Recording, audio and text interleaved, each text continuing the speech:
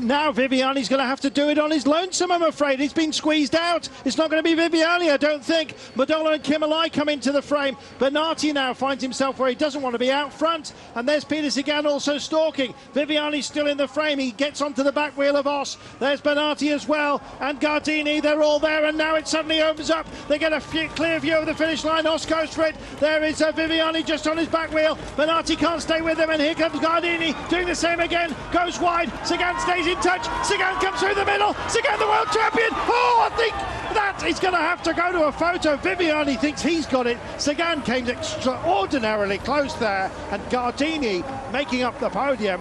Well, who is it? Sagan or Viviani? Viviani believes he has taken it at the line. Well, what about that? Terrific push. Viviani thought he mistimed it. Wow. Sagan lunged as well.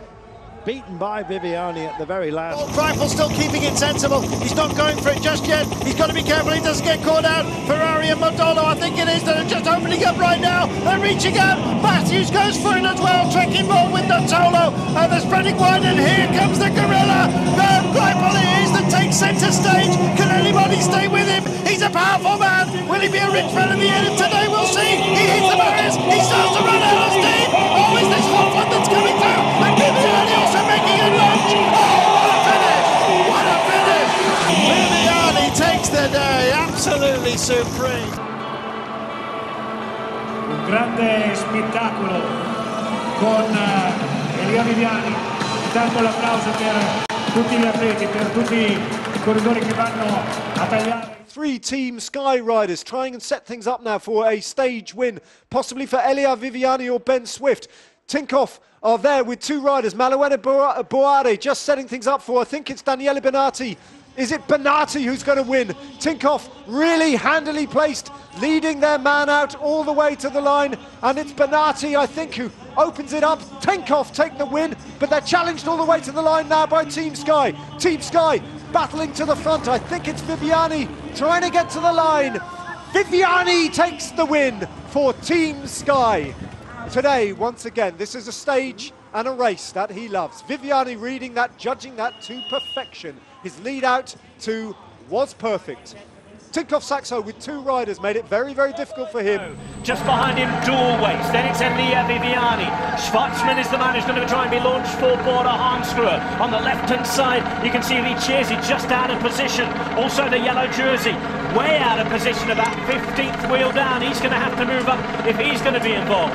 Now on the front, it's Moscon who has a go for Sky. On the right-hand side, Colbrelli is following the wheels.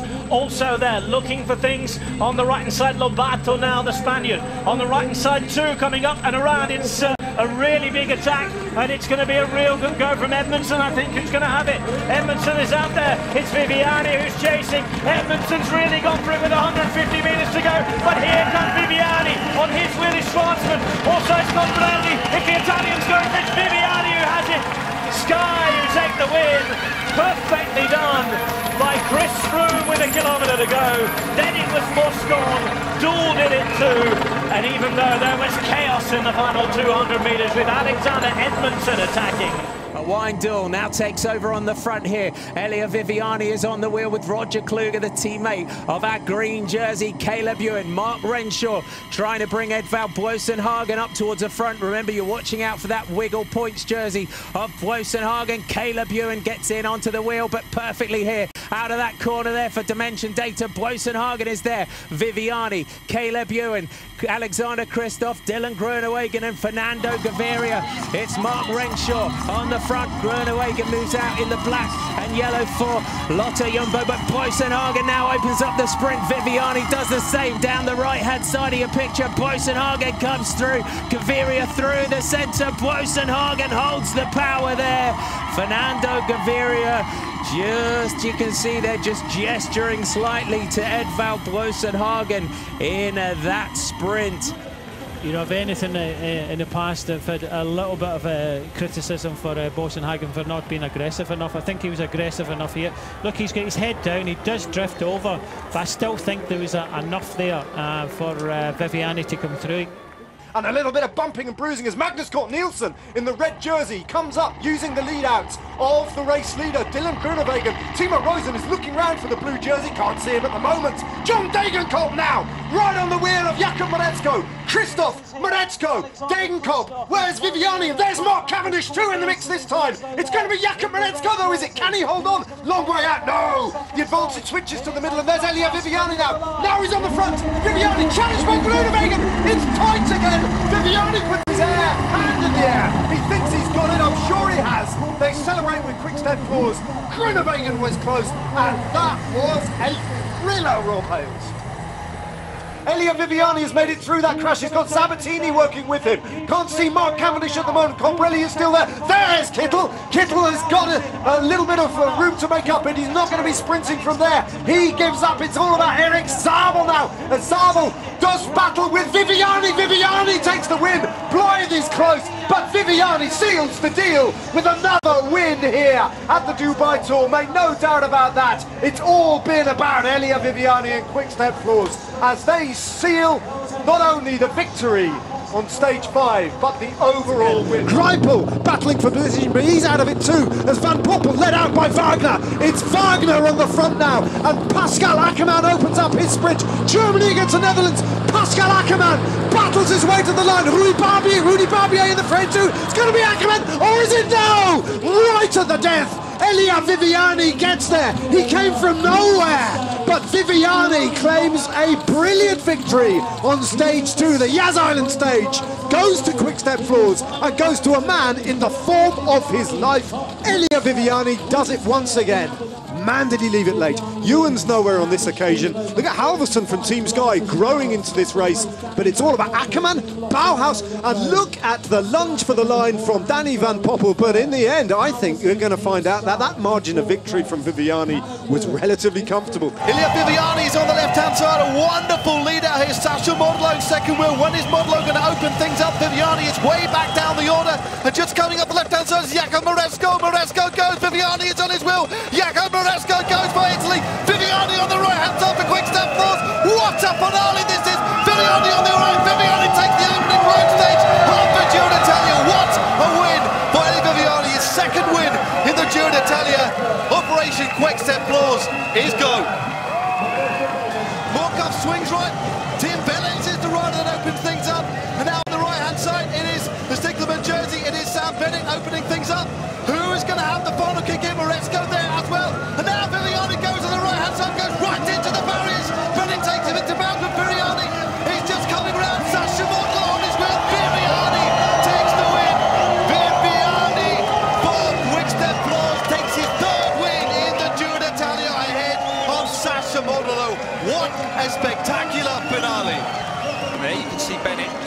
moves across. He knows Viviani's coming up, and there's that barrier that just comes out.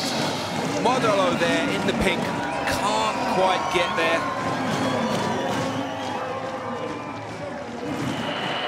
And just on the left-hand side, it's a bigger tap. I think this is Jupa. Jupa is going clear.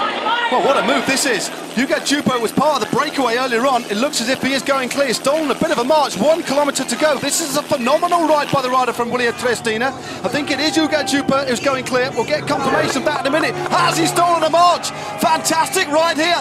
And now it is Visconti goes to the front for Bahrain Merida looking after Visconti, but a good lead here by the rider from Wilier Triestina. We'll get a close look at who that is in a moment, but this is a wonderful ride, fighting all the way to the line. Well, he's stolen a march on the vast majority of the sprinters here. Still got a couple of hundred metres here, fighting all the way to the line. What a wonderful ride here by the rider from Androni Giocattoli. 400 metres to go. It looks like he's got this in the bag. Well, it is sprint now on the right-hand side. Has he got enough in the tank now? Well, this is a superb performance by the rider. Big upturn on the cars there, but out on the inside, Modolo goes. It is also in the centre of your screen. Modolo Viviani goes to the centre of the screen, then the cycling journey. Viviani reigns supreme. A hat-trick for the Italian. Wow, what can you say there, Viviani? Got absolutely everything out of that sprint. I was wondering how much he would have benefited from not actually having to fight it out with the rest of them yesterday. He got it right today, didn't he? They sat back, they waited. He found that position on the road. He got himself through.